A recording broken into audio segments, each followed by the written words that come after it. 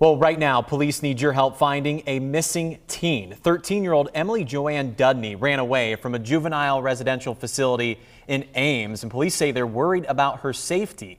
Investigators say she has ties to Des Moines and may be returning to the city. She was last seen wearing a white graphic t-shirt, blue jeans, and black shoes. Police say she has a tattoo on her right arm. If you see her, call police.